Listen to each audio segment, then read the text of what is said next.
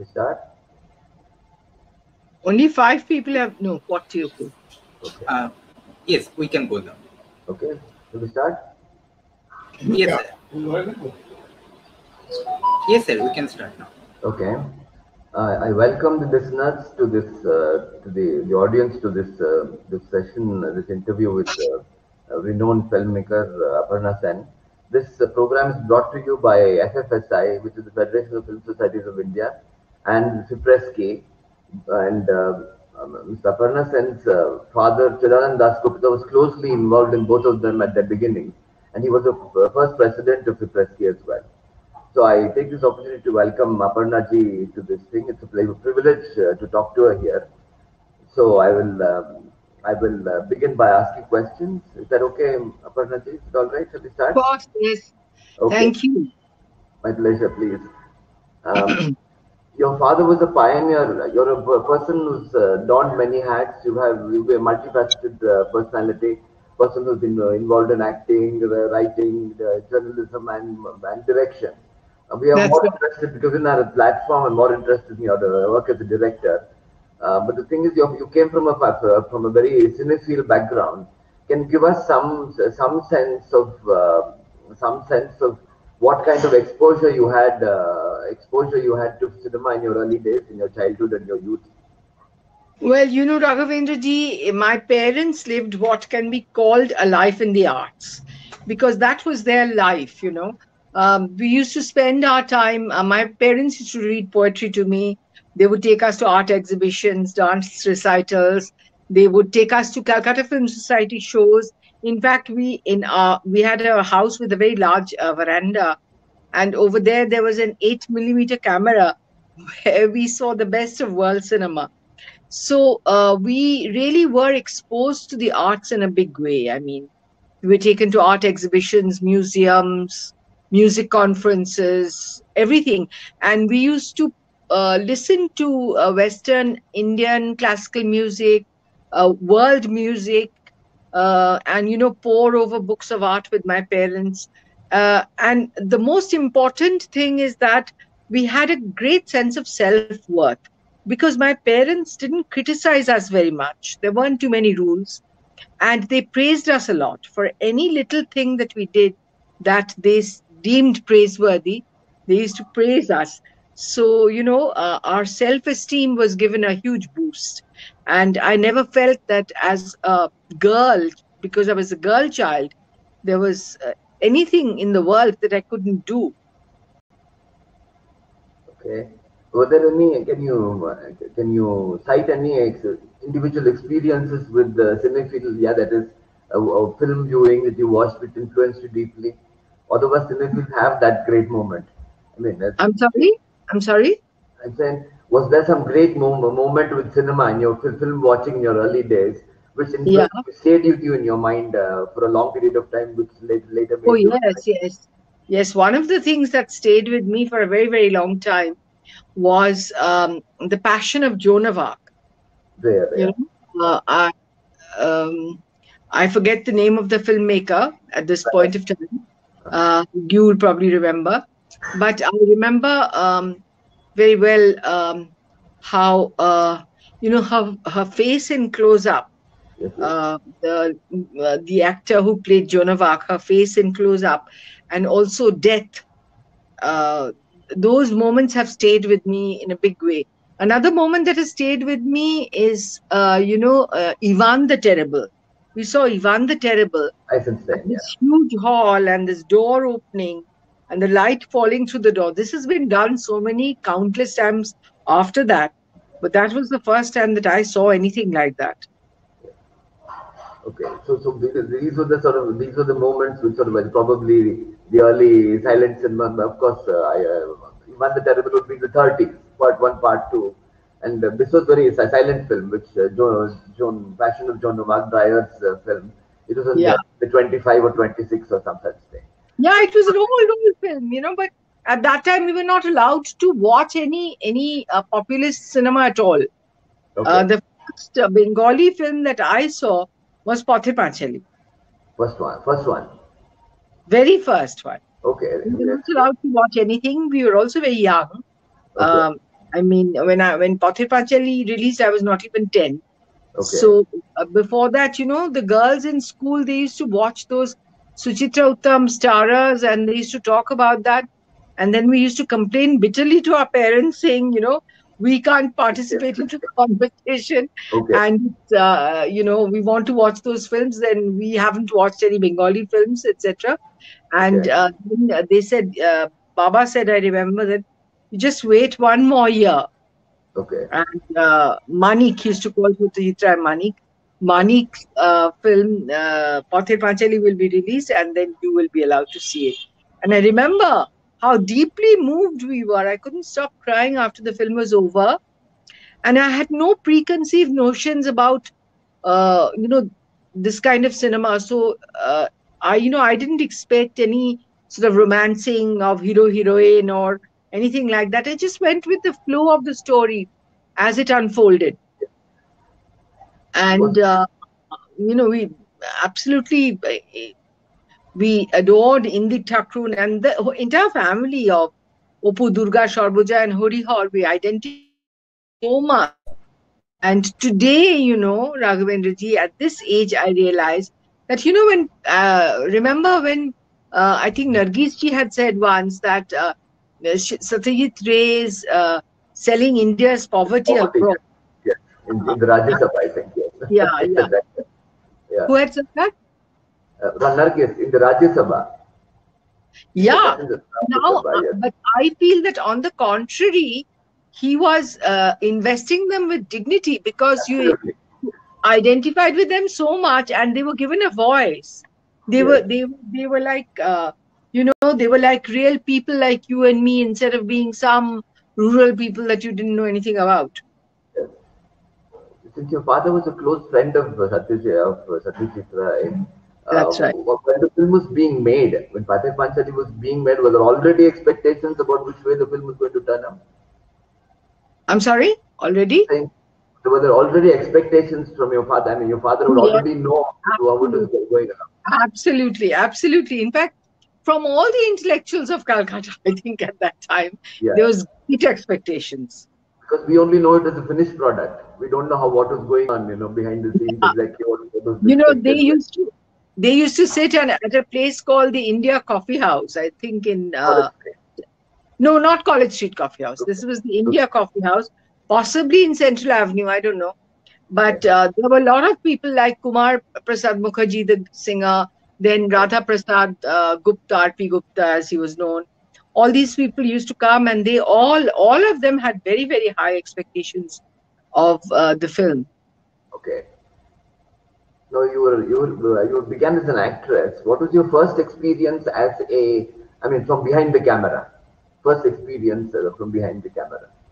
you know um i don't remember which the first shot was but i i had i had actually acted in school and i'd already decided to be an actor now i was i remember a little disappointed because i was constantly told what to do you know look that way look that way because i was a newcomer so ray had a very, very clear notion of what he wanted uh, and uh, he used to tell me but this used to make me feel a bit disappointed because I was not getting to show off any acting talent. Uh, but, but I realize now that he was using me actually. Uh, but there was one day, which I'll tell you about, where I had this squirrel in my hand, this uh, squirrel called Chorki, and I was supposed to carry it in my hand. And, um, you know, um, I, I was supposed to stand outside. Samapti. I'm, Samapti? some, that's right. Yeah, Samapti. yeah, yeah. I was Okay. supposed to stand outside the window of my friend Rakhal's living room, where his sister was being shown as a prospective bride to Soumitra Chatterjee. And uh, the squirrel is supposed to slip out of my hand and go into the room. Then I go after it and I create complete chaos in that room. Uh, but the thing is that the squirrel used to always um, actually wriggle out of my hand every time I loosened my fist even a little bit. But that day it sat on the palm of my hand, not moving at all. So I didn't know what to do. And I heard people saying that now it will be cut. I, I could hear people say. And, but, you know, Manik Kaka, as I called him, didn't come. and I didn't want. I was. I didn't want the film, uh, you know, shot to be rejected on my account. So I pretended that I was showing it better to uh, Rakhal, and I put it on the sill, you know, of the window. And then when it slipped out, I pretended to uh, pretended to be very upset and got in. And uh, I heard uh, Bansi Chandragupta, whom I called Bongshi Kaka, uh, he was saying Holona, Holona means uh, it, it wasn't okay. But uh, Manik Kaka was laughing a lot and he said, uh, but you know, I rather liked it. And that shot has remained in the film. So that has been one of the high points in my acting in Samapti. What about your experiences from behind the camera? As I mean, watching, looking at, looking through the camera, not in front of the camera. What about those? Your first experience because you became a director later on. Yeah, and uh, actually we started with the shot of the uh, pujas because the pujas, you know, that year we started actually shooting on December three because the pujas uh, were earlier. So and also it was raining sometimes. So we shot some rain shots and the puja shots at that time, earlier on, before we started the actual shooting. Um, and uh, I was, my experiences were, how should I say, I could see the film so clearly in my mind that um, I had uh, actually no problem. I mean, I often, uh, I couldn't say what lenses I wanted. Uh, Ashok would ask me, Ashok Mehta often would ask me that what what lens should I put, ma'am? So I would say, I don't know. You know, just show me. Show me a few samples. And then he would show me. And then I would uh, I would say, no, I want this. So I was very uh, because I was uh, that picture was absolutely I had complete clarity about the visuals I wanted. So I I don't um, you know, it was not, it was very exciting, of course. What is the, Oh, I remember one thing. film, is it? Yeah, This it was, I remember one thing uh, that is quite funny. That is, I was feeling very shy to say start and cut. Okay. Because I had never done that. I had never, uh, I had never been a director before. Uh, and uh, so I told my assistant that I said, uh, listen, I'll poke you in the back and uh, or in the arm, and uh, then you say start. And when I poke you again, you say cut. Okay. He said, it's the other way around. I will poke you and you say start. And then I poke you and you say cut. But you know, because most of the directors that he had worked with, particularly first time directors, you know, he had to actually uh, tell them what to do. But uh, because I was so, I was so completely convinced about my film and so clear about the visuals, uh, I said no. But I felt very shy to say start and cut. This I remember. This is your, this is, you're talking about uh, 36 Chowringhee Lane? 36 Chowringhee Lane, my very, very Any short films or anything before that? Short films, some expert here. Any short films before that? Any other experiences making? Nothing, nothing. That was the very, very first film that I ever did. Okay. Can you tell us something about the making of that film in the sense that uh, I don't mean uh, the I mean the actual conception of the film. Can you tell us something? How did you how did you come across the come up with the idea of making an English language film? Your uh, the, the story that kind of thing. How did you? You know what happened? I was actually shooting in Bombay for a mainstream film. But uh, I was most unhappy, you know, and I was waiting in the uh, makeup room and I was thinking that, oh, for the rest of my life, will I just keep having to do this? You know, acting in films that I don't believe in and the kind of cinema I don't believe in. Uh, because these were all mainstream. And at that time, mainstream cinema was even much more mainstream than it is today. So uh, today, the dividing lines between mainstream cinema and art cinema Right, has you know, uh, blurred somewhat. But at that time, it was very, very, uh, very marked. The differences were marked. so uh, then I, uh, you know, I said I can't keep doing this. So why don't I do something? Why don't I start writing a short story? Because I used to be uh, reasonably good at writing in school and college. And so I started writing a short story, but I didn't want to write about something I didn't know. Uh, even though I was at that time a disciple of uh, Utpal and I was very much very leftist and so on and so on. so forth. But I didn't try to write about farmers or you know uh, factory workers because I said I don't know their life. So um, then I thought, why don't I write about uh, some, uh, you know, one of our uh, school teachers who taught us in school. Okay. And I used to see these Anglo-Indian teachers who were not always very good teachers, but they were very affectionate and very good people. I used to feel very sorry for them because at that time, Anglo-Indians were looked down upon quite a lot. Uh, so um, I started writing, became more and more visual, and it became longer and longer and longer, far longer than a short story should be. And at one point, I even got myself writing dissolve. Okay. so I said, you know, this doesn't want to be a short story; it wants to be a film. Okay. So I, I then wrote it. Uh, it took a long time, you know. I, I wrote it out as a screenplay after that. So Miss Stoneham is actually taken from one of your school uh, experiences. Roughly, I mean, a kind of taken from that. She was modeled on. Uh, she was modeled on some of our teachers, particularly one Miss Cole, Okay. who used to teach us Shakespeare very badly. Okay. Uh, so, uh, but there was uh, something of her, not entirely, not entirely. Okay. Because Miss Stoneham uh, recites from Lear, if I remember right. I'm King sorry? Uh, Miss Stoneham recites from King Lear at the end of the play. Yes, The end of the film. Yes, yes. Yes. So the, the Shakespeare connection is there. right, right. yes. You know, uh, she teaches Shakespeare, but Okay. uh, I think she understands Shakespeare through her life experience for the Okay. first time that Okay. night. Okay, okay.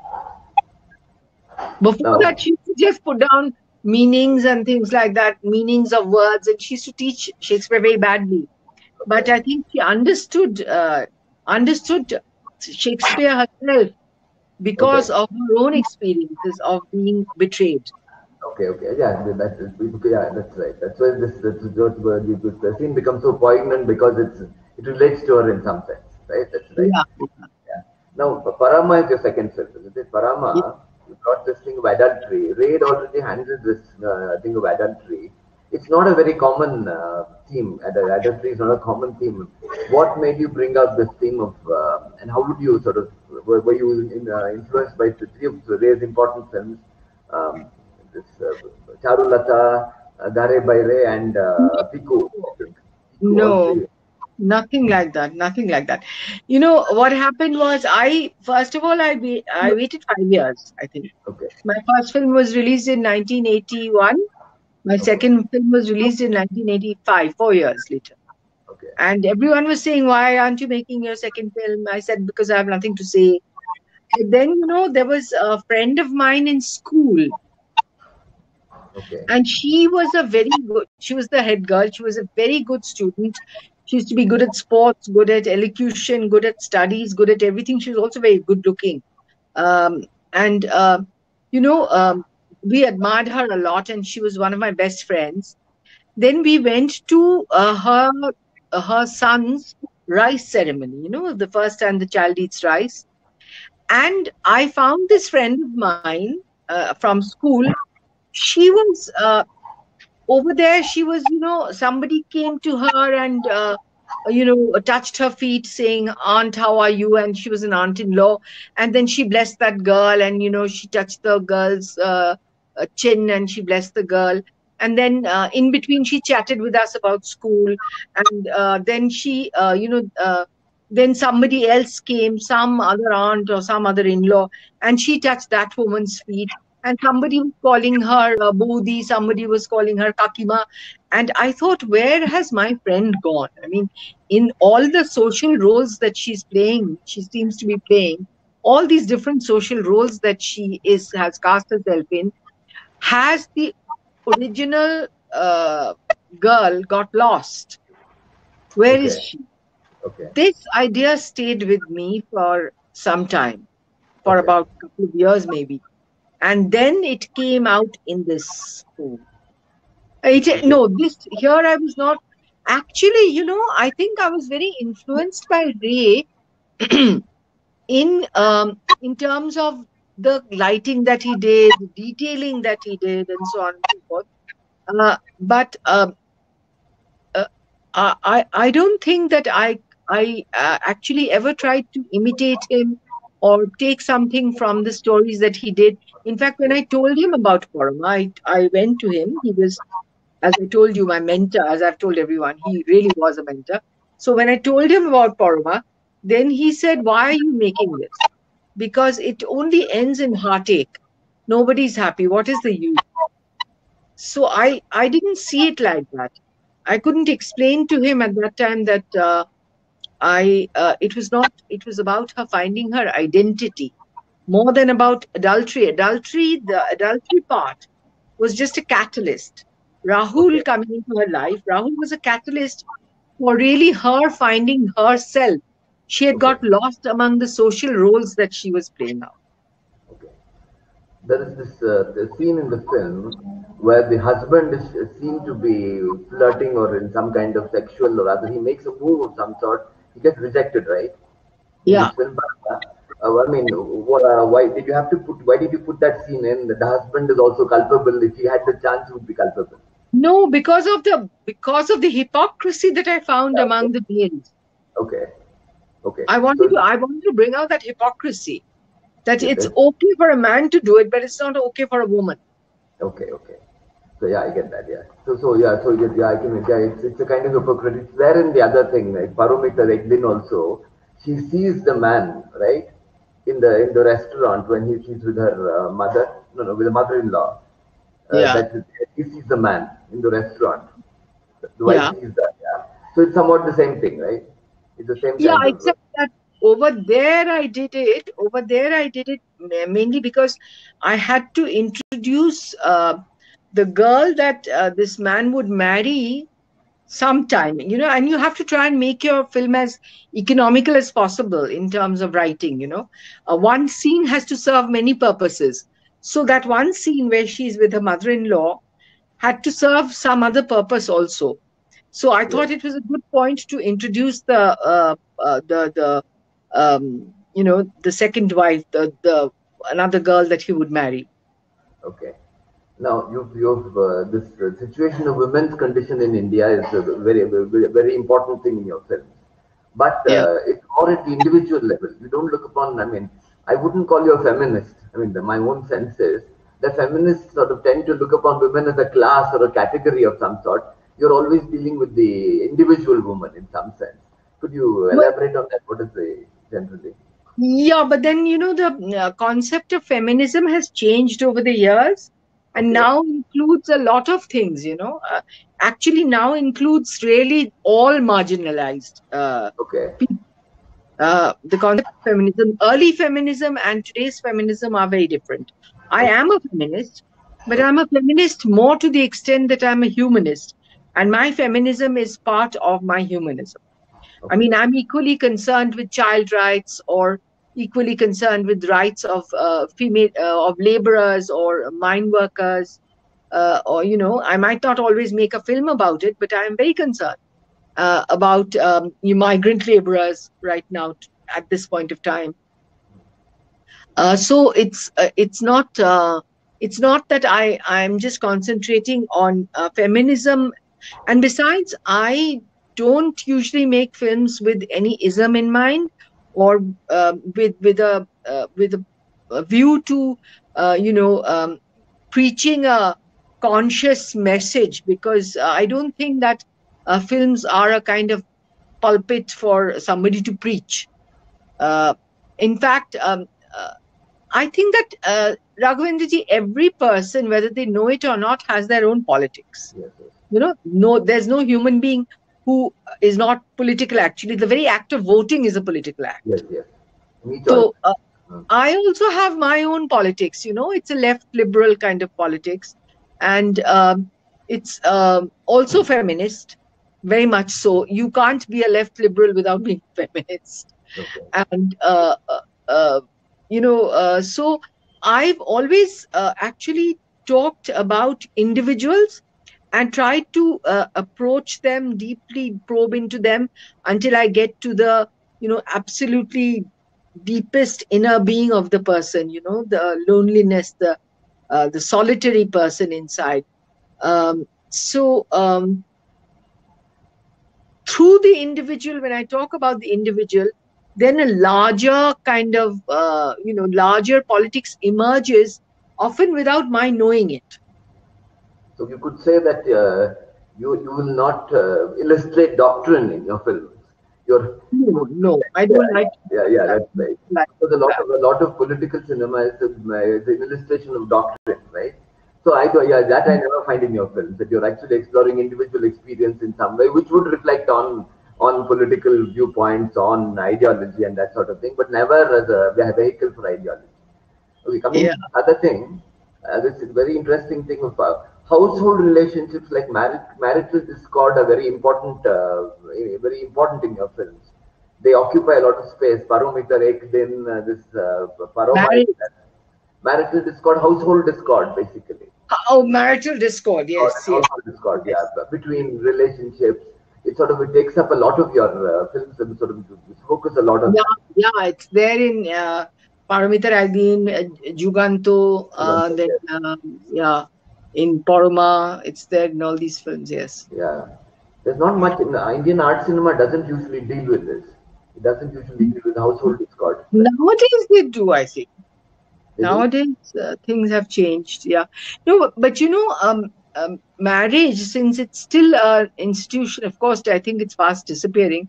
But it's still, uh, uh, I mean, when I've made these films, marriage is very much an institution that is alive, you know, in our country. And uh, I think it's mostly that uh, people are, uh, most people are polyamorous, you know, but they are forced by society to be monogamous.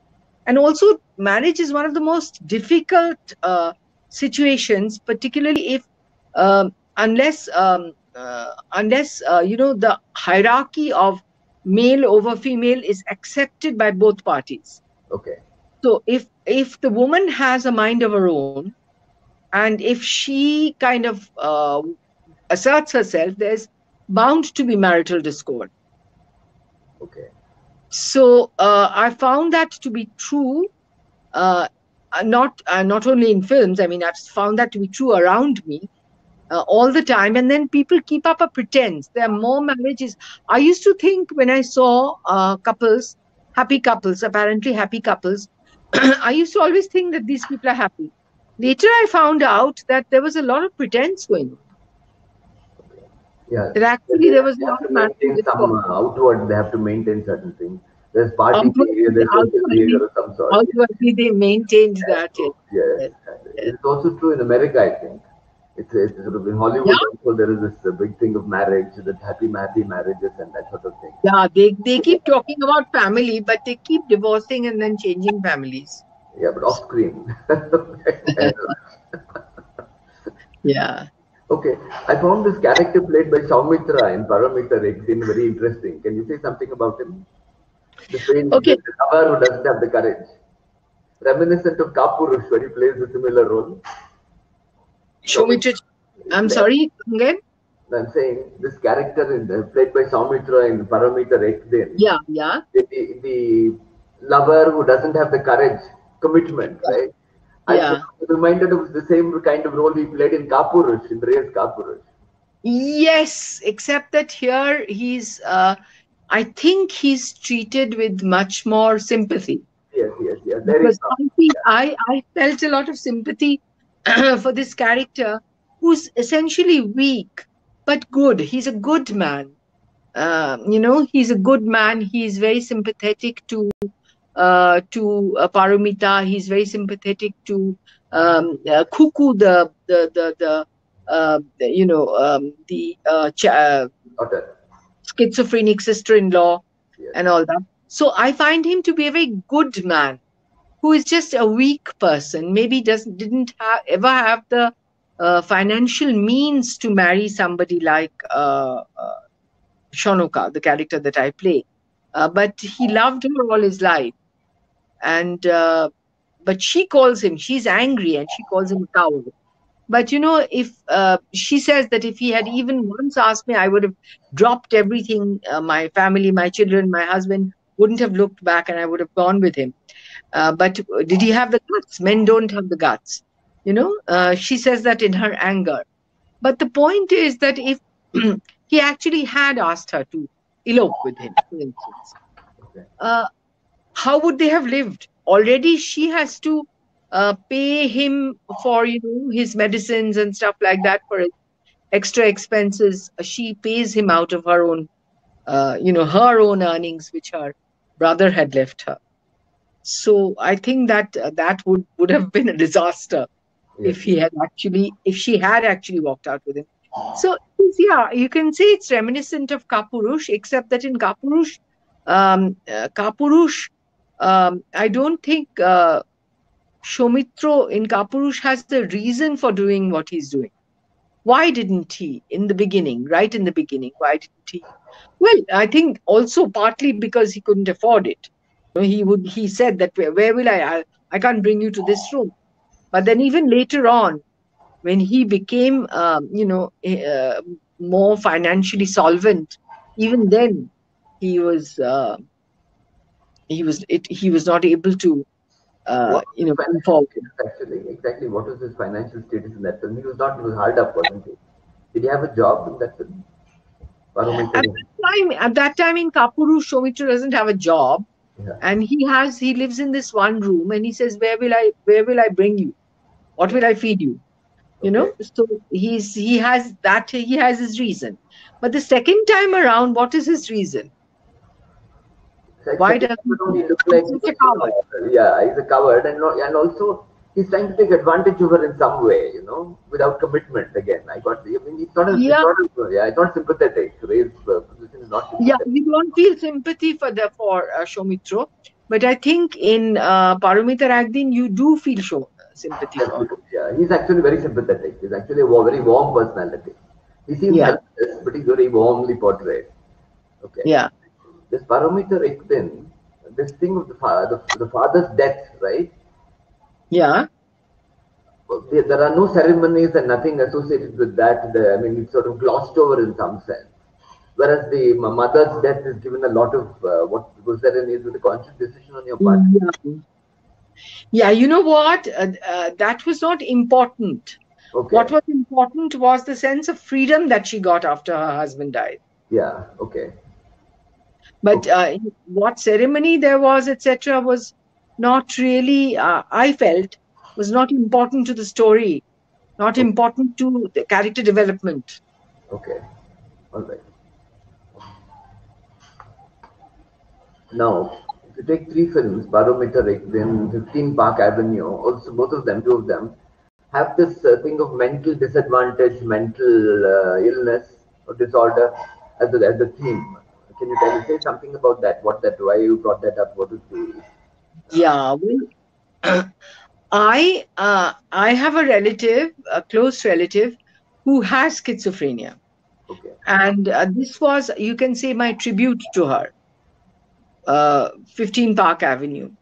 Paromitar Ek Din also, I think, uh, the she she actually I, I have drawn upon uh, this relative, uh, and because I've seen her condition at very very close quarters.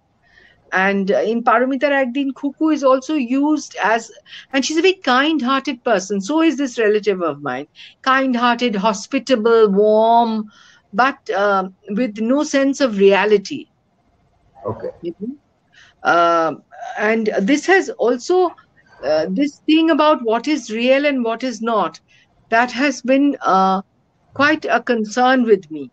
You know, because I uh, I've often felt that um, it's a tyranny of the majority because all of us you know when we when we see a situation like the way i will perceive it and the way you will perceive it will be minutely different won't it because we are different people with Yes. different mindsets and different ways of reacting but in the case of a schizophrenic it's widely widely divergent i mean because usually in schizophrenia and i found out usually in schizophrenia it's because they find uh, real life as we know it so painful that they have to create a uh, create a kind of imaginary life for themselves Hmm.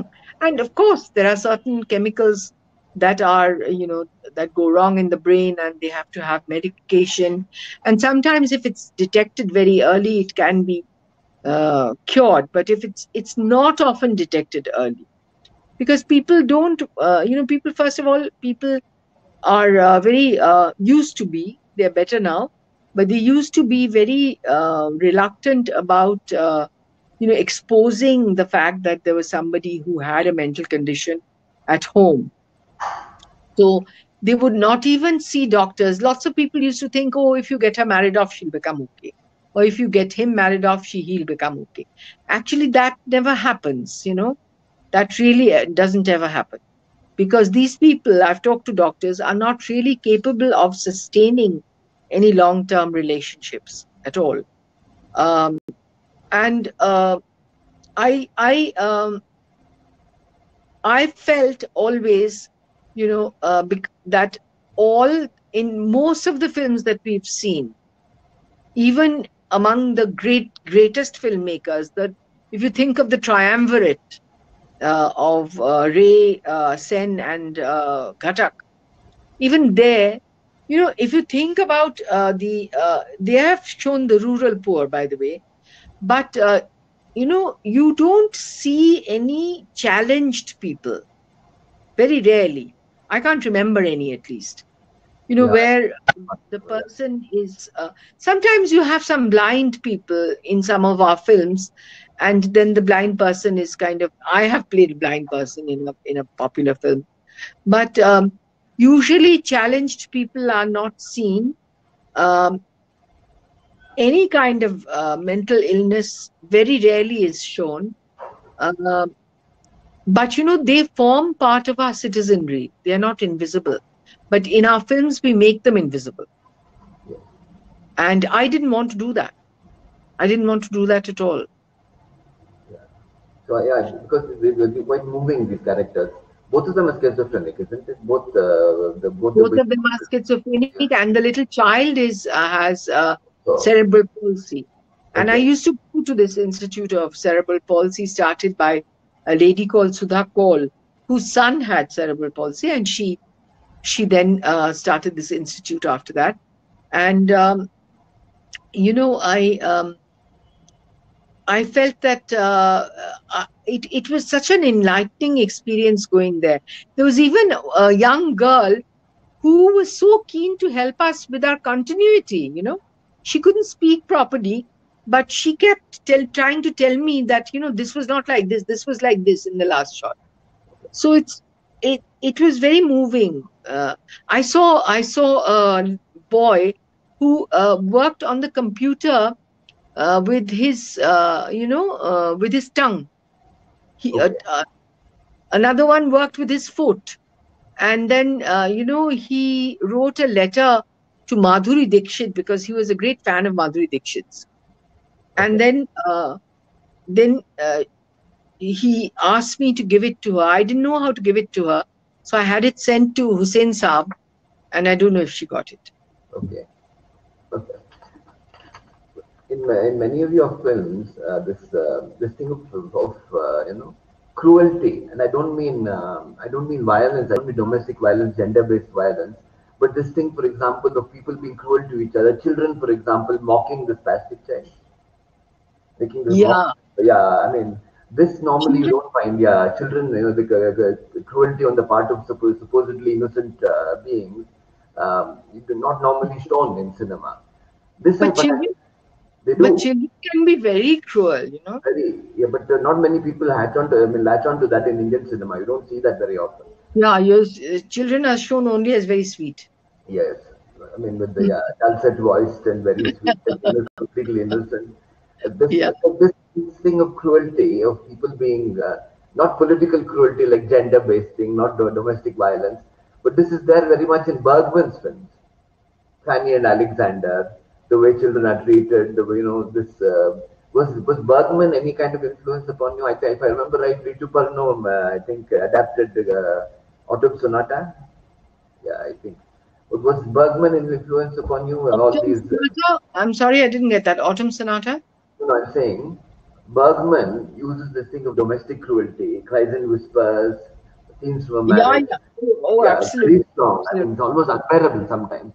But the, the point is, was he was it influence on you in all these movies in this this uh, thing of showing uh, this kind of cruelty? You know something? Uh, you see these films and they affect you, but it's very difficult to tell uh, because it's at a subconscious level, you know, and you don't, you can't analyze your own subconscious.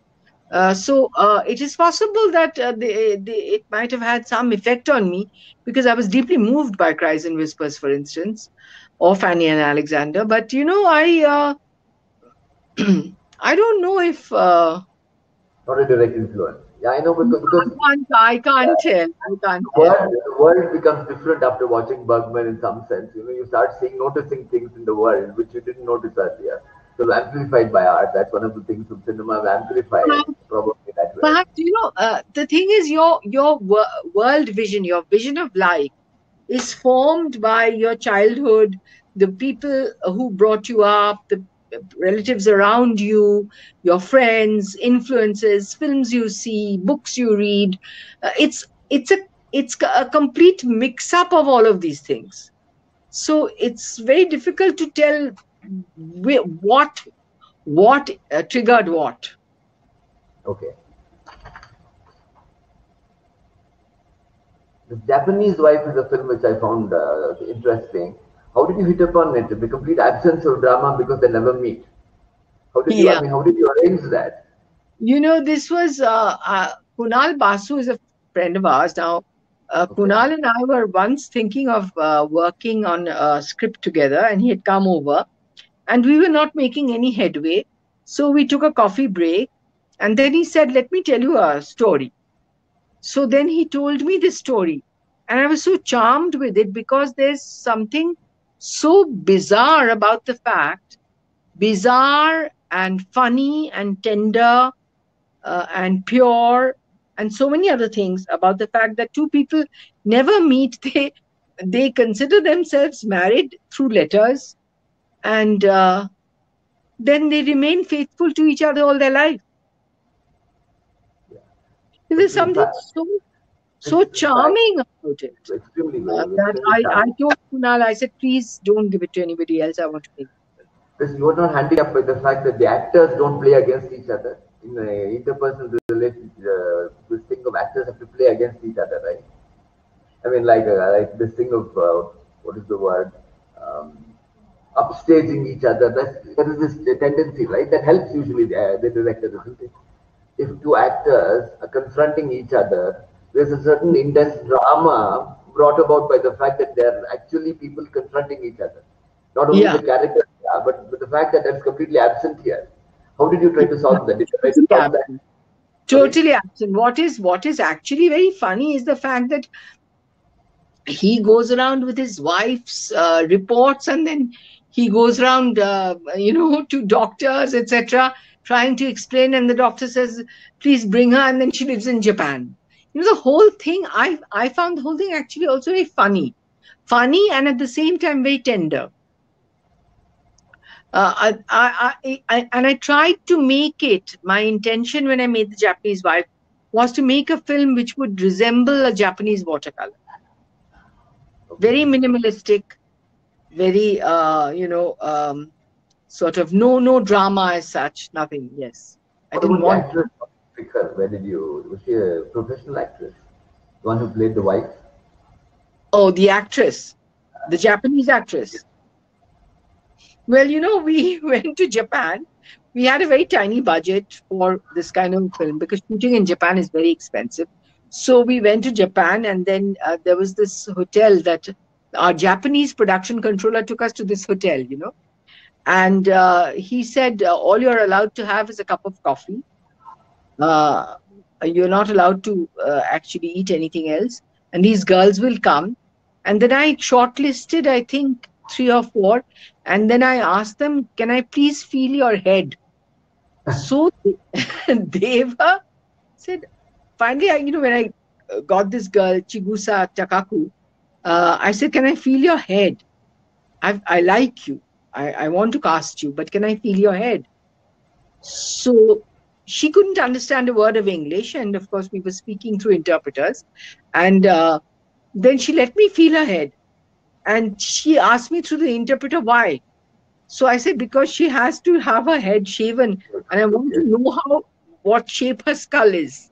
Okay. So that was something quite funny. But she allowed me to do that, and she had a perfectly shaped skull. So it was uh, good. Now, Mr. and Mrs. Iyer and Ghare, Ghare Baire Aaj, uh, you've got into political thing which has become very pertinent today. Yeah. This politics has become very pertinent. Can you say something about the political role of the artist filmmaker uh, in today's world? What exactly you see your role as a, as a your political role as a filmmaker?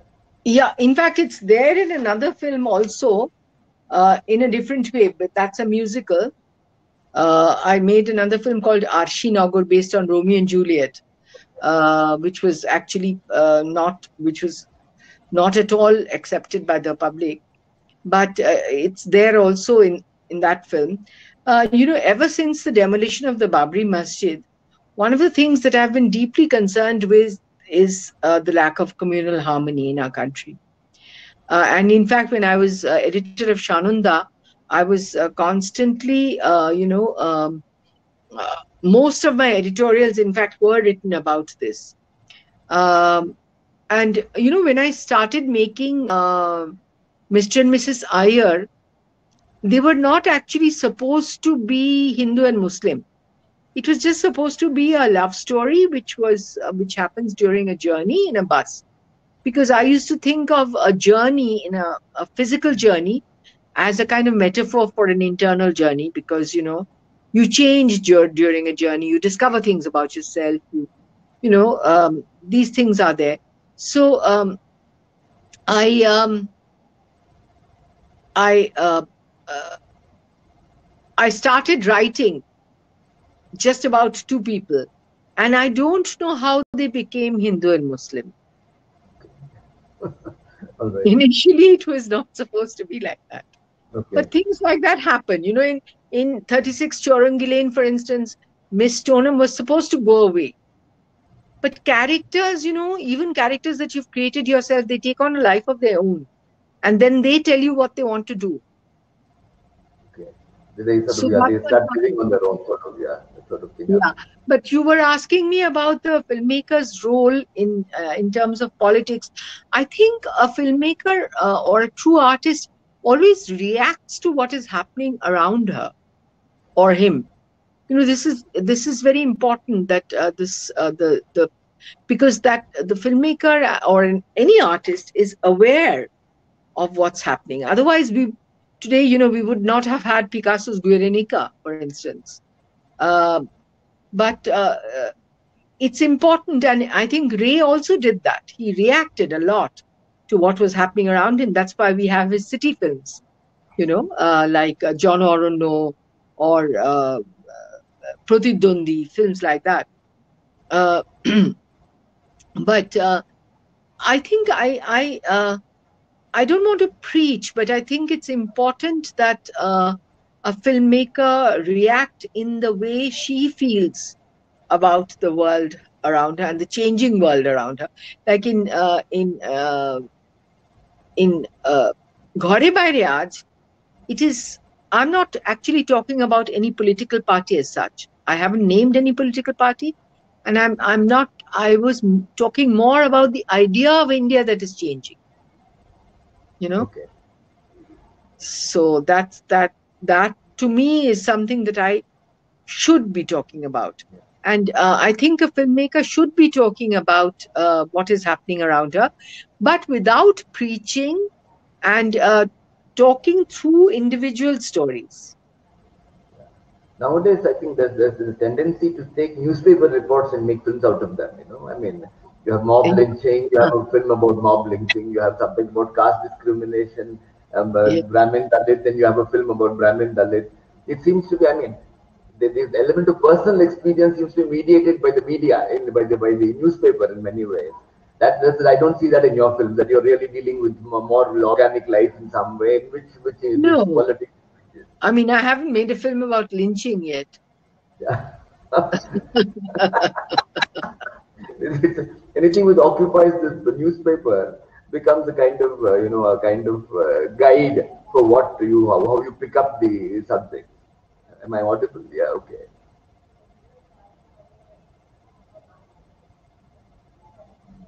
Hello?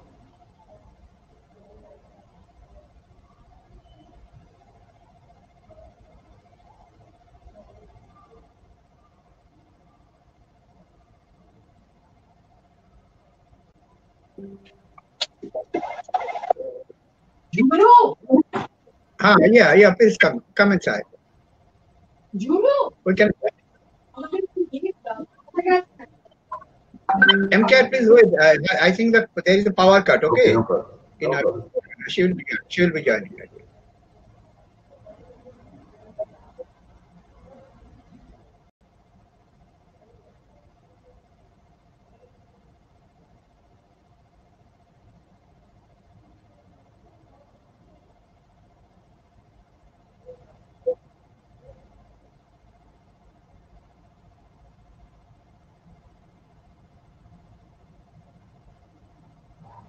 Well, Ah, yeah.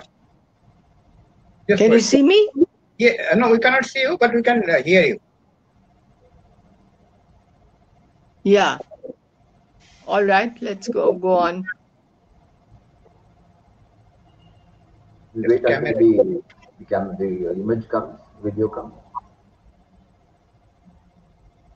You, let's continue. Yeah, there, it's come back.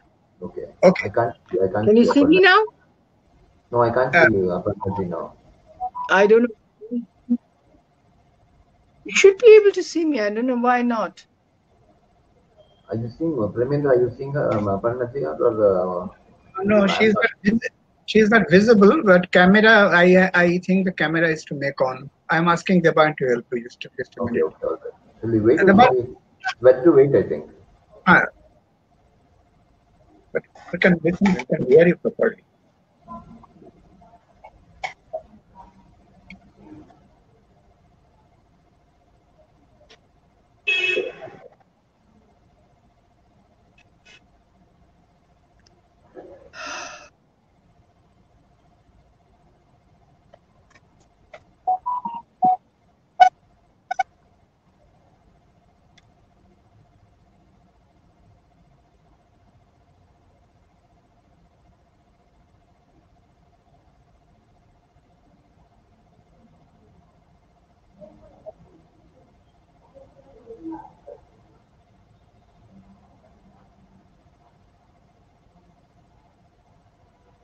Participants are requested to stay. Uh, she she will be joining right now. There is a power cut at her place.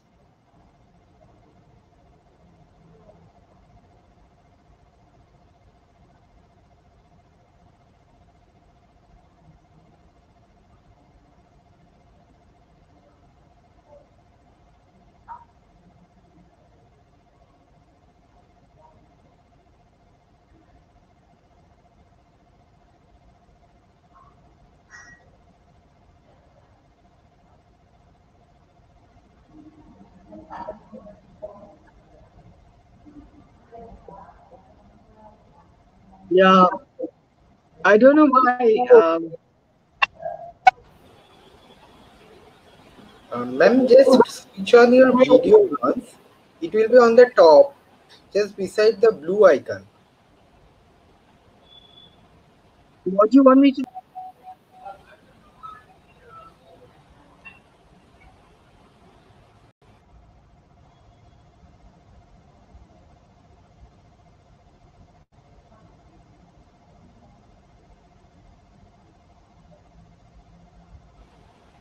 The blue icon? Uh, yeah. What about blue icon? Uh, just left to it, there is another icon. That is the video icon, ma'am. Uh, the blue icon is the for mic. keeps on. Uh-huh. Just left to it. Uh, there is another icon. Oh, acha, okay, got it. Yeah. Yes, yes. Okay. I'm back. Hello, everyone. Okay. That, that, I think that question, do you want to say anything more about this political role of the filmmaker who interrupted? Anything Yeah, well, uh, yeah. What I was saying is I lost track of it. is that I think the uh, it is important for the the artist to uh, react to these things without preaching, uh, and to uh, for instance, if you think something very unfair is going on in society, it's important to talk about it without preaching. With you know, trying to in fact make uh, you know some most of the time, like in uh, Mr. and Mrs. Iyer, I felt that when people are killed in riots you just hear numbers, you know, that so many people were killed, so many people were killed. Now, these numbers are given faces by the filmmaker. Uh, in this, uh, in uh, Ghare Baire Aaj, Nikhilesh Yeah. is Bengali, Sandeep is not Bengali. Is there any commentary here on uh, the right wing uh, being outside the? Of Of course, there is. Of course, there is. There is, uh, there is, and you know, it's very important because I feel that the idea of the India that I love, the pluralistic, the uh, you know, rich, diverse India that I ha- I have loved and I've been a proud citizen of, that India is changing, and I don't want it to change. And Okay. Ghare Aaj was the, the story was perfect a foil for this because if you somebody said why is it so political so i said if you read tagore's ghare baire then you will see how political it is Okay. politics is a very very important element of uh, uh, the story itself okay. but it was the politics of that time and because i'm making it today it's the politics of today Is there any, I mean, what what I meant was, is there any commentary here on uh, right-wing politics being external to Bengal in some way, intrinsically? not about bengal because it's set in delhi Ah, okay, okay. okay, film is right. set in delhi Yeah, oh, she lives in Delhi, correct? That's right, that's right. So it's not, Hmm. Bengal is not an issue there. yeah Okay, all right. Can you say something about the women filmmakers from around the world who, uh, what lines of line of inquiry they should take? What is your any idea about, any on what, uh, about generally about women filmmakers in the world? Do they have to Well, I'm not so aware of the present women filmmakers in the world, except for some people, like, for instance, uh, um, uh, you know, um, what was the film that she made, Lost in Translation? Uh, okay. uh, Coppola, Sofia Coppola. Coppola, yeah. Uh, Uh, she she is very very good, I think. And then I've seen a uh, seen a whole number at film festivals, but I can't remember their names. You know. okay. it's very difficult but i do do know uh, filmmakers in india who are very good Okay. and i admire them a lot and uh, i think the number of uh, women filmmakers in india has increased a lot Yes, quite a and that's a very very encouraging sign Yeah, okay. So I think this generally completes my thing. Shall we start with the questions? Questions now? You can ask questions. We've come to the end. Okay. any questions from anyone Okay. We are not finding parallel cinema filmmakers now, and legendary filmmakers are not making films. What is your take on parallel cinema? Any anything on what was called parallel cinema? It seems to disappear now in some sense, isn't it? Yeah because it's no longer relevant Okay. No, because the stories now, uh, the kind of films you have now, are all uh, you know. You uh, now story is king. You don't you don't have those blockbusters. I mean, once in a while you do, but uh, the as I was saying, the divide between uh, what used to be known as parallel cinema and what used to be known as uh, commercial cinema, that line has blurred. Yeah.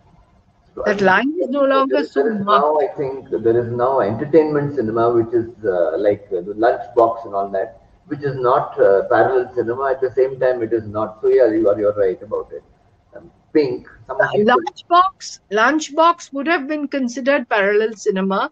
Uh, you know, when we used to talk about parallel cinema, it would have been considered parallel cinema because it has none of the, none of the um, uh, sort of, um, you know, a typical um, uh, formula entertainment stuff in it at all. At the same time, it doesn't have a issue-based uh, thing, right? Parallel And cinema I, issue-based. the Like, well, is, I, do, I, I personally don't like issue-based uh, cinema. Yes. Yeah.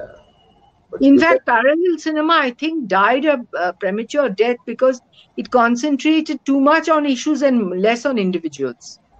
It's, it's there. Art cinema is still there in some sense. That it's, uh, it's, it's still visible here and there.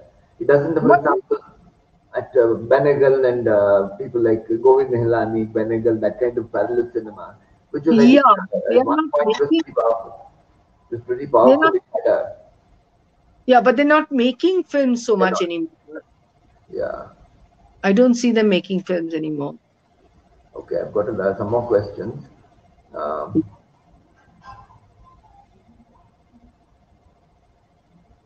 we have seen a wide change in the distribution process of cinema. Nowadays, OTT platform or web media is growing. So, uh, what what is your uh, response to this OTT? New new I think- platforms are coming.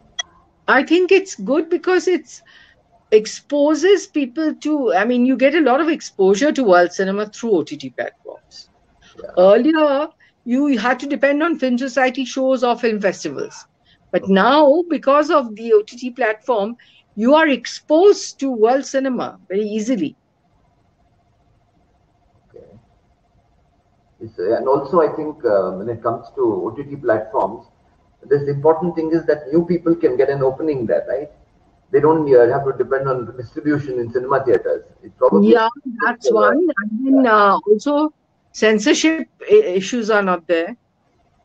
okay censorship. uh, Yeah, it's not there. So I think probably on the low budget films which uh, reach a certain level of uh, I mean quality, they seem to find no. I mean, if you can manage it, probably works out profitable. You can show it and it reaches a number of people. Uh, you can, you can uh, definitely, except that it's, uh, uh, I think it's quite expensive uh, to actually, um, quite, ex- I mean, uh, when they buy, I don't think that kind of, uh, in the producer's cost is covered. Okay. They don't pay a great deal. Which this uh, these uh, OTT platforms? They don't. pay- Ah, I think I'm under that impression, but I could be wrong. I don't know. Uh, could you, um, um, uh, Aparna could you please advise one quintessential element for new filmmakers to remember while making their films? Advice for new filmmakers.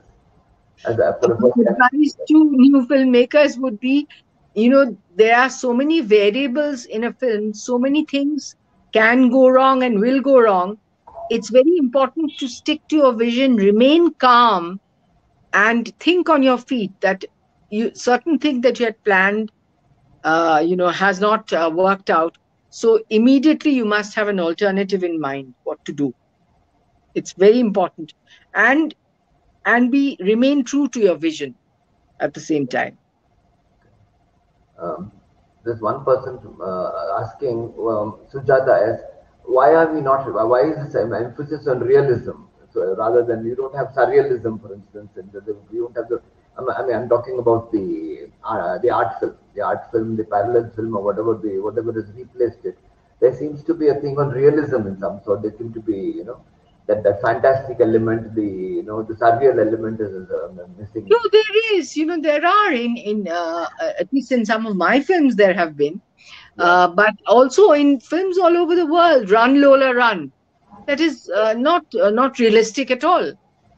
So Indian cinema, I think you're talking about. Your film, I this. Talking Uh, about Indian cinema, yeah, um, there is there is this absolutely fantastic film that I've seen uh, by Tyagaraja and Rajakumara called Super Deluxe.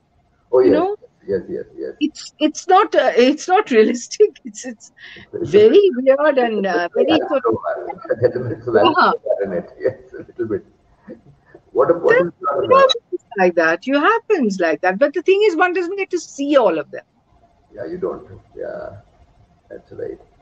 And I don't think that there is any uh, any. Um, uh, it is not incumbent upon the filmmaker to constantly make uh, films that are, uh, you know, um, that uh, reflect everyday reality. You don't have to. Uh, you can make surreal films. You can make uh, fantasy films. You can make so many different kinds of films. 15 Park Avenue, your the closing thing is of, sort of magical realist. She disappears into the house. There's no house, but she disappears. Right? She goes into the house, 15 Park Avenue. I'm your- sorry. In your film 15 Park Avenue. Huh. Yeah, at the end. yeah, yeah, it's magical realist. Then yeah then you go, go into magic realism then Yeah, in yeah. in my film called uh, Arshinagar i've had sets where furniture which people don't actually sit on or use uh, furniture is painted Okay, you know Okay. because and and the uh, the uh, the cityscape for instance lucknow is shown the terrace is real but the uh, cityscape is painted you know because i wanted to introduce the element of theater Okay. because it was based on a shakespeare play Which was that? Which was the play? This film you probably haven't seen. It's called Arshinagar. Okay. It's based on Romeo and Juliet, where Juliet is a Muslim girl and Romeo is a Hindu boy. Okay. Uh, Ashok Ray says the character Khuku was portrayed in a very thoughtful manner. Uh, the two Rabindra Sangeet were, was chosen. And uh, Hmm. what was the thing? Did you use? Uh, I mean, the thing she sings beautifully. The fact, I mean, how did you idea uh, use music in that way? In that, you know, it brings a certain the use of music in that film, singing especially in the So I thought uh, Khuku because this I told you about this relative of mine. She Okay. also used to be a very go- uh, good singer. Gradually, she lost her voice, but uh, Khuku, I when when uh, for a long time she used to be able to sing very well, and I thought that uh, you know the fact that Khuku uh, still sings, Okay. uh, it, you know that that's one one element of her life which is which is kind of uh, which is like a release okay. You know Yeah. and uh, also i i could then use the songs uh, very effectively uh, you know as montages I, I think in uh, Satyajit Ray's, uh, uh, which is that Shakha Proshakha, there's a played by Soumitra, I think he's mentally, he's, he's I think schizophrenic also. Also music is very important thing there, right? Like, he listens to music, doesn't he? yeah he's he constantly Yeah, listens to yeah. classical Because I think probably this thing, the, the irrational thing that is no longer this, you know, that this, uh, this thing of a rational world, so probably music has that thing, probably, you know, it, it Yeah. is possible, yeah, that sort of thing. Today, okay, there's a question. Today is the birthday of the great filmmaker Rituparno Ghosh. Uh, yeah Can you say something about Rituparno Ghosh? Because I think there was, uh, you were, uh, I mean, I think, uh, Ritu, Ritu, uh, Ritu understood uh, the Bengali middle class very, very well. okay, And he portrayed the Bengali middle class uh, very perceptively. okay, And, uh, you know, uh, he had a lot more to give, I think. He just died too early, unfortunately. okay. And I was very fond of him. He, he I, it's very difficult for me to see him objectively because he was really like a brother, like a sibling, more than anything else. So um, it's uh, difficult for me to say anything, but I think he was a very, very talented filmmaker. Okay. What What is your uh, thing on? Um, uh, somebody asking about uh, Tollywood. Uh, what is your uh, thing on Uttam Kumar movies? You already said in, in the interview that you didn't pay much attention to popular cinema, Bengali cinema. Since then, I Uttam Kumar was a very, very fine actor, and I think anywhere else, if he had born been born anywhere else outside of India, okay, he would actually have uh, risen to far greater heights. Even today, so many years after his death, okay, you know, he's still popular. His films, when they're shown, are still popular. So he had uh, that star quality, and then he was also a good actor. He was a very good actor. Uh, as an act, I, I as an actor, when I acted with him, uh, really uh, felt that you know um, he responded uh, very beautifully. When when you when you act, when when one acts two actors, you don't just act separately. You have to respond to each other's the slightest nuances, you know. And he did that. He was I, I used to admire him tremendously, and uh, I also found him a very uh, gracious and gentlemanly person.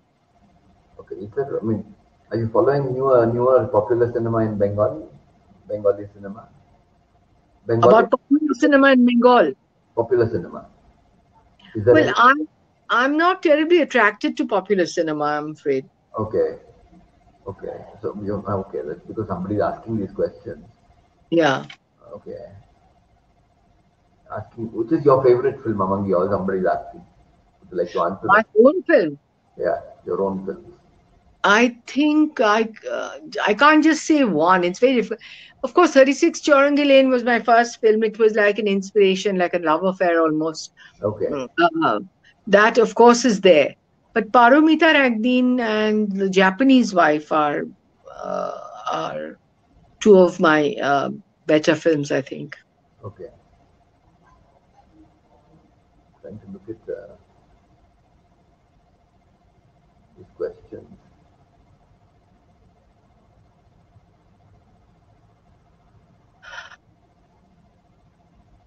I mean, most of them are, most of these questions are hello, hello kind of things. what, what, what aspects of gender would you like to work on is another question. What aspects of? Gender would you, would you still like to work on is a question which somebody is asking. I don't understand. What aspects of gender? gender would you still like to work on? The question Gender. is, yes, gender. Yeah, Yeah, gender. uh, yeah. I, I I would. I'm interested in. Uh, I'm interested in. Um, you know, not only women. I'm also interested in uh, transgender. In fact, I have a transgender character Okay. in Film Sonata. okay. I'm interested in in in queer people. I mean, actually interested in people, generally speaking. Okay, I think we'll run out of questions of there there, but uh, they're all largely hello hello kind of questions. I think we'll uh, we've uh, you know crossed one hour anyway. yeah, we can. Seem to run out of it. Okay. Will you think of any cinema in this pandemic situation? Can, you, can this become a subject for film? Pandemic. Uh, no, you know, I've been racking my brains actually, but I haven't yet figured out. Okay. Uh, some ideas keep coming vaguely, but you know, uh, they they uh, it's difficult. Uh, they they come vague ideas. Like Mrinal Sen's Antareen, that film Antareen, that would have been perfect for a, um, a film during pandemic because the characters never meet. okay. Yeah. In fact, there are only two characters. One is uh, one is in uh, she's uh, incarcerated in a room. Uh, people don't know why, and the other is just talks to her on the telephone. Okay. This, I think, well, we will have to get through this pandemic before we start thinking about making films about the pandemic. Quite right. Quite. yeah. Okay, somebody's asked, were you in any way influenced in uh, Paromitar Ek Din, directly or indirectly influenced by Cries and Whispers? Asking. So I Uh, no, no, no, Okay. no. Uh, you know, I, I can't actually, I find it very difficult to um, say uh, what influenced me because it, as I keep saying, that it's a very subconscious process. Okay. Yeah, correct. That's, yeah, we've already discussed this, I think. Somebody from Nepal, Satish Gautam Gautam is uh, Nepali film is dominated by Bollywood. Can we work for a joint cinema in Nepal and Hindi language? Somebody's asking. I'm sorry, I didn't get that. Something about about about uh, Indian cinema being a hegemonic relationship with uh, Nepali cinema. That is, uh, Nepali cinema is so overwhelmed by by Indian cinema in some sense. Is it possible to have a collaboration? I don't know how to answer this. I don't know. Yeah. I- It's very difficult for me what do you think of Ray's? This is an interesting question. Sujata S. Uh, Ray's as a political filmmaker.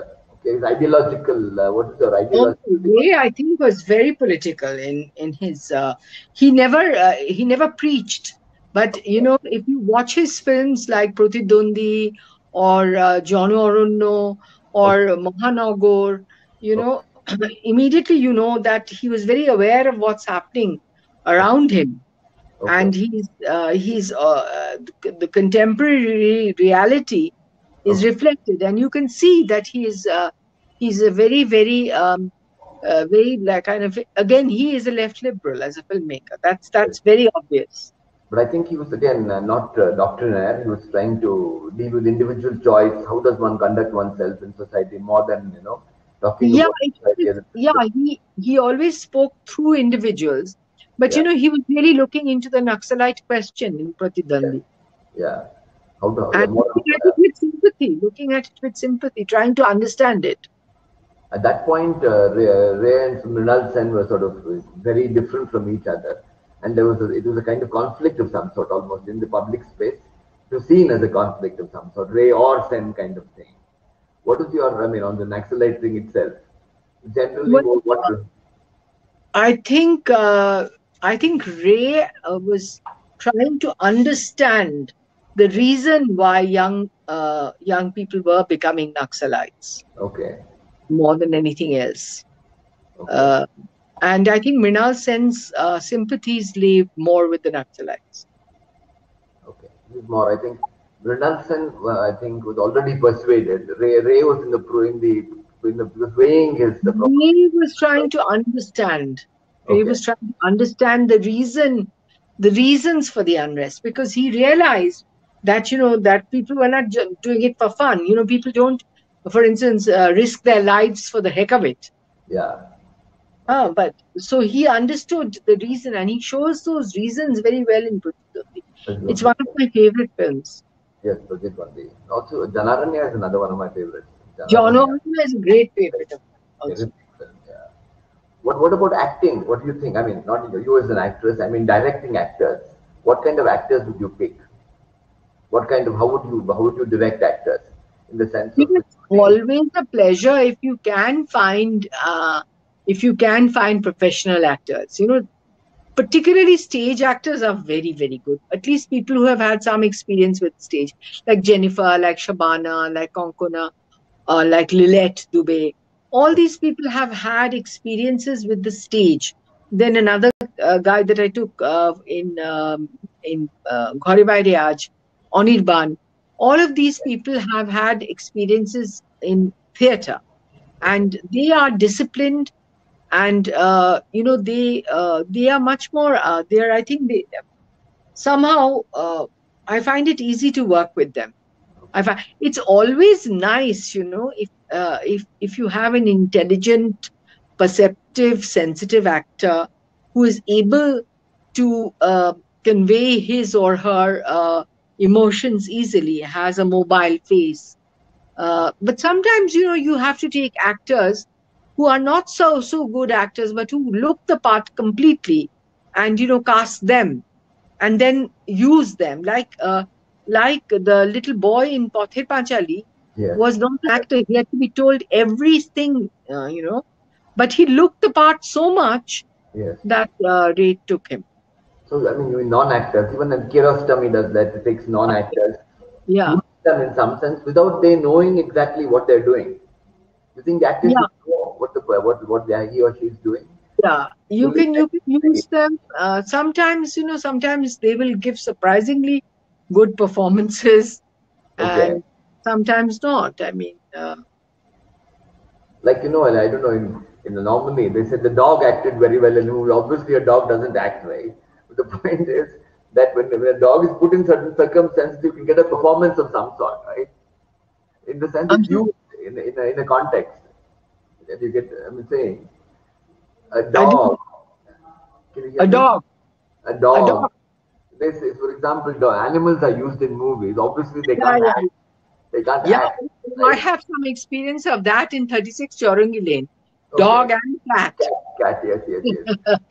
Sir Toby, right? Sir Toby is the name of the cat. Toby, yes Sir Toby. Toby, I remember that. Yeah. it, was, it was very uh, it's it was very interesting sir toby uh, whose real name was kitty it was actually a she Okay. but um, uh, the you know hemant who was the uh, owner of the cat because apparently cats can't be trained but Okay. hemant who was the owner of the cat he was very good very helpful. And also we found out certain things about the cat. For instance a cat is very particular about its paws being clean.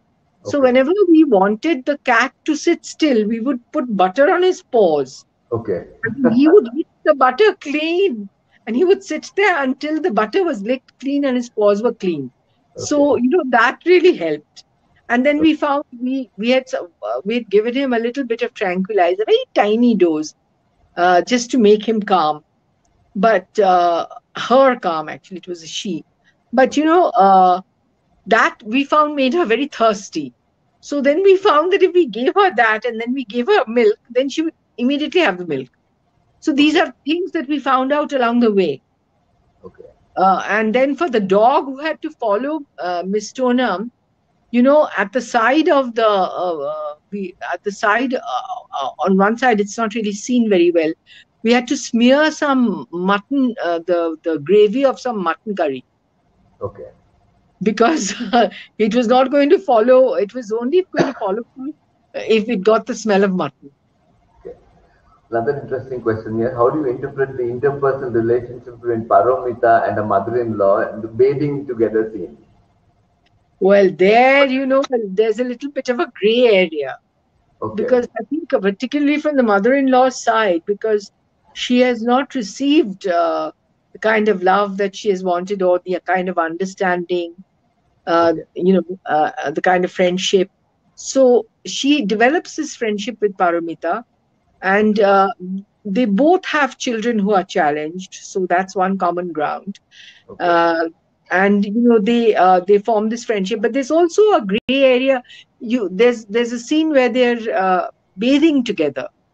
So that's uh, you know some people can consider that a little um, and also at the end when she is very sick and Paromita comes uh, you know then what is playing on the radio is a vaishnav uh, padavali uh, you know বহুদিন পরে বধু আইলে দেখা না হইতো নয় this is a very famous uh, very famous vaishnav uh, poem uh, which is uh, made into uh, well these are sung so that is being uh, sung on the on the television so that's really very that she comes ma- বহুদিন পরে বধু আইলে means my, my friend you have come after a long time and if i had died then i wouldn't have seen you so uh, that is uh, that's actually uh, spoken to a beloved uh, so there is a gray area which i've left deliberately gray Another question from Prerna is, time in your films feels very different, unhurried. The story thickens in time. Can you please talk about your script writing process in this context? Yeah, well, um, I don't like to hurry through my films, you know, uh, because I, I want to create moments for the audience to savor. And also, you know, the the the story dictates the pace of the film. It depends on the story. I mean, for instance, a Pather Panchali cannot be made uh, in a in in a like uh, for instance, uh, one of the detective stories today. The, the the story itself dictates the pace of the film. Yeah, the French, I think, uh, some of them found it very slow. In some sense. That was a big complaint against Pather Panchali. Because they subsequently. Uh-huh, but then once I found that people, you know, hurriedly came in whenever you had a show, they, they were coming from us. Then uh, it took them about 10 minutes, then they get used to that pace. Then they start identifying with the characters and so on. You have to have a little bit of patience. And I think film viewing needs a little bit of training. Yeah. I think watching film itself needs training of some sort. You have to. You Yeah, Yeah. if you're too impatient and if you can't understand something, you immediately leave and you forget about it. Uh, then everything has to be handed to you on a platter, you know. Yeah. Everything has to be spelt out. What So- you, In that case, you know, all the nuances, all the layers of meaning, those uh, go away. You then you then you might as well watch a rom com. in fact, uh, I think people must be able to understand the interpersonal uh, body language and all that. To be able to read that requires a sensitivity. That's right. I think, I mean, that you have to generally watch films and develop as a as an audience also. What is- Yeah. question. What is your next film, man? That's a question. Somebody. Uh, well, uh, I don't like to talk about a film. You know, I'm very superstitious. I don't like to talk about a film until we've started. Okay. That generally complete. But it's about things that are happening in a. It's it's a it's not a it's not a period film or anything like that. It's a present. Even the present uh, this COVID crisis or whatever, and the fact that it's likely to go on, have you guys have you thought of uh, how you're going to go about shooting films and what exactly? Yeah, that we are we are contemplating that, but we haven't come uh, come to any uh, any definite decision. We actually have to see. We actually have to see okay. how things are developing. Okay. Will you have to? I mean, will you have to alter your entire uh, perspective on cinema? What how to what kind of films you're going to make because of this crisis? You think? So we have to think about sanitizing the area properly and taking precautions, Okay. so on. So Rita Datta asks, what is your take on Death in the Gunj, the subversive version of masculine Death in the Gunj? I thought it was very, very, uh, it was very good film. And Konkona, I read the script. Uh, Okay. She also, like me, in 36, she also had the whole film uh, in uh, the picture, the visuals of the film very clearly in her mind. And uh, that film, that script went through many, many uh, versions, you know, because she kept correcting it. And I think it finally turned out to be a extremely well made film it was uh, my take on it is that it is in many ways a feminist film because it is about uh, as i said the idea of feminism has changed to include all the marginalized people here it's uh, about the you know patriarchal system where uh, men are expected to be strong and any man who's weak uh, is uh, bullied to the uh, you know point of being driven to suicide Okay. So I think any, any other questions? I think we've run out of questions here. Any, anything anything interesting? Oh, no. okay Otherwise- then let's wind up Okay, we'll wind up. So thanks, thanks, uh, Aparna ji. It was Thank you a pleasure much. talking to, talking to you. Thank you, Raghavendra ji. Pleasure, pleasure. Bye bye.